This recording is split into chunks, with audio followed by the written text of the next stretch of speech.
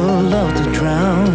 I need that story I used to hear to run on and to end this